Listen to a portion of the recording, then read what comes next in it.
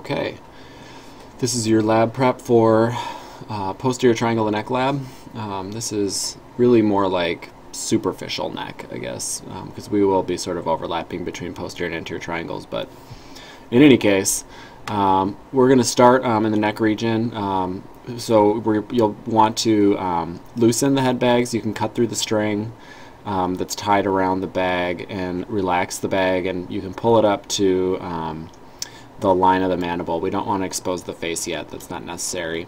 Um, but we do need full access to the neck, um, both anterior, lateral, and posterior. So um, get the bag to sort of come up to about here, and then we'll be good to go.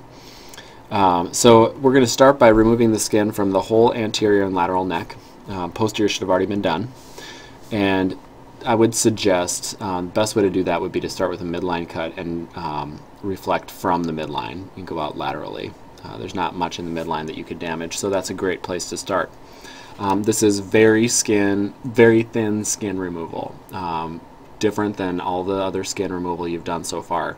Um, so what if you're concerned at all, um, I would suggest you know leave all of the fat down and just remove um, the epidermis and the dermis um, layer and leave all of the fat down on the tissue um, and we'll be able to work through that. There's usually not that much fat in the neck so um, this uh, or at least in the superficial neck so um, this is a proceed with caution step. Okay so once you get the fat and or with the skin removed we may have to do a little bit of cleanup in terms of fat removal but um, the first structure we're going to be looking for is a very thin muscle called the platysma. Um, it's nowhere near this big uh, and or this robust or obvious.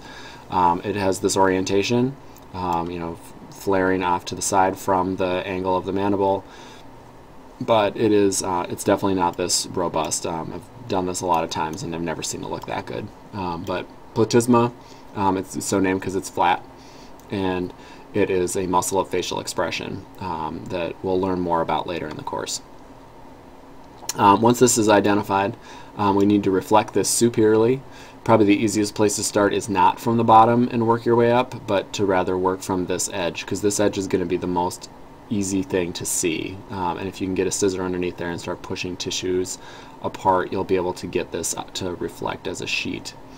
Um, once you get the platysma out of the way, um, then we'll actually be able to observe the posterior triangle um, anatomically. These are its three borders, trapezius, sternocleidomastoid, and clavicle. Um, so get those uh, structures identified right away. We need those landmarks to be clear. Uh, and then we want to take a look at um, some of the structures that are lying on the surface of the sternocleidomastoid. And this is a good reason to exercise caution when you're reflecting the platysma, because especially this vein, the external jugular, has a tendency to want to stick to the back of the platysma when you reflect it. So um, go easy um, when you're reflecting platysma and keep an eye open for a vein that might be um, sandwiched between it and the sternocleidomastoid. Um, so in addition to the external jugular vein, which will be seen on the lateral or superficial surface of SCM, um, the internal jugular vein will be seen, and it's quite large by comparison um, and it will be deep to the sternocleidomastoid. You may be able to see that already today without getting anywhere into the fascia of this um, carotid triangle here. Um, so observe your veins. Um, if you've got an external jugular vein, that's great. Um, if you follow it up superiorly, eventually this turns into the retromandibular vein. Um, so have a look and see if that happens in yours. the next thing that we're going to do is look for the specific branches of the cervical plexus um, that we're going to do today. Most of what we're going to do today are, are, sensory branches of the cervical plexus, um, and three of them have particular relationships to the sternocleidomastoid. Um, these three nerves here, lesser occipital nerve, um, great auricular nerve, and the transverse cervical nerve, all come from the cervical plexus and they are sensory branches that are um, responsible for innervating the skin. And they all emerge from about the same spot, right behind sternocleidomastoid. This is called the nerve point of the neck. And these three sensory branches, as well as there's another one down here that we'll get to in a second, um, all emerge from this place, and they're responsible for sensation over the whole anterior and posterior triangle regions. Um, so pretty important. Um, in addition, the great auricular um, comes up onto the face um, to supply the ear and a little bit around the angle of the mandible. Um, so this isn't the last time we're going to see these nerves in our exploration of the head and neck. Uh, but have a look, they're usually pretty thin. Um, great auricular is probably the biggest. It's usually parallel with the external jugular vein and often quite close, closer than is represented here. You'll see those two um, near each other. Um, so have a look for these. Um, these two will be easier than this one. You'll have to almost get behind and underneath the sternocleidomastoid in order to get to lesser occipital. Alright, um, the last branch of the cervical plexus we'll see today is the um, supraclavicular nerve. Um, there's usually several of these um, that are running, instead of this direction, across the sternocleidomastoid, they're, they're coming from the same place, but they're running down out towards the clavicle. And these should, if you, this space is usually filled with fat in here, and if you work through this fat, you'll be able to find these nerves relatively simply. Um, the last nerve we're going to find today is not a branch of the cervical plexus at all. You've seen this before. This is the spinal accessory nerve, cranial nerve 11. Um, we found it before on the deep surface of trapezius, so we're kind of just working our way backwards, and now we're finding it um, before, right before it got to the trapezius. And you'll usually find this one in this sort of orientation, coming from deep to the sternocleidomastoid and progressing downward deep to the trapezius. This nerve innervates both of those two muscles, so this is a good visual reminder of that. Okay, so that's that's about all we're going to do with the posterior triangle today. Um, then I'll have you turn to the anterior triangle, and we're going to do some real basic um, laryngeal skeleton and muscular anatomy associated with the larynx. Um, so we've got um, the hyoid bone. It won't be this easily visible, but you'll definitely be able to feel it. Um, you can palpate your own um, if you need any sort of comparison.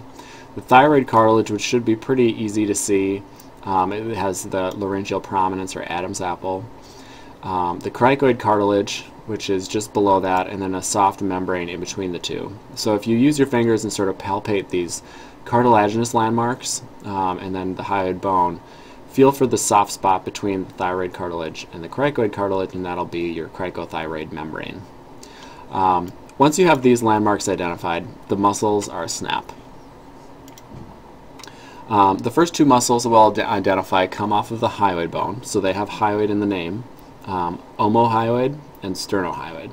Sternohyoid, as its name suggests, goes straight down to attach to the sternum, um, and it's paired right in the midline.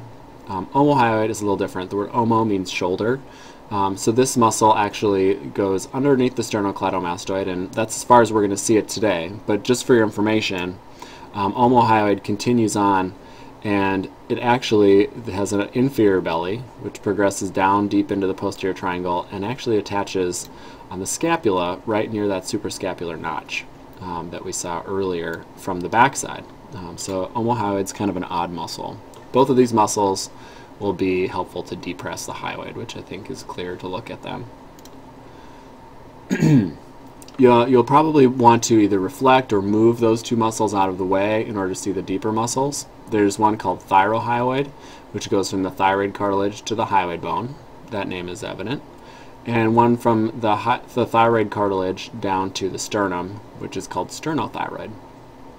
Um, so um, the, the, other muscle that's in this area is sort of functionally a different story completely from all of these, um, but we're going to identify it since we're here. This muscle is called cricothyroid.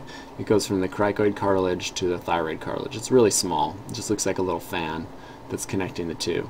Um, so these muscles are all thyro, hyo, sterno, omo, crico, something. Um, it can be a little bit of a, a challenge verbally to get these words straight. So take you take your time going through these slowly um, and get to the point where you feel like it's pretty easy. Um, but the key to doing that is really making sure you can identify these um, laryngeal landmarks. All right, that's it. This is going to be kind of a short lab, I think. So good luck.